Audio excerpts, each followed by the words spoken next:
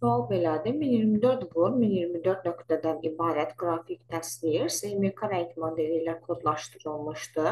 Bu təsvir yaddaşda neçə megabayt yer tutur? Ümumiyyətlə, ə, təsvirin, yəni qrafik informasiyanın həcmini tapdıqda bu düsturdan istifadə olunur. Piksellərin sayı vurulmalıdır bir pikselin həcminə.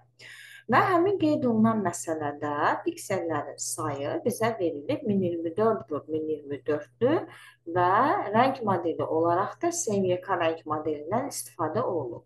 Piksellərin sayı 1024 vur 1024-dür. Yəni 2 üstü 10 vurulsun 2 üstü 10-dur. Onda piksellərin sayı 2 üstü 20-dir. Birbaşa yazıram ki, piksellərin sayı 2 üstü 20-dir. SMK rəng modeli dediyinə görə, həmin rəng modelində bir pikselin həcminin 4 bayt olduğunu bilməliyik. Yəni 4 bayta 2 üstü 2 bayta vururuq. Bu bizə verir 2 üstü 22 bayt.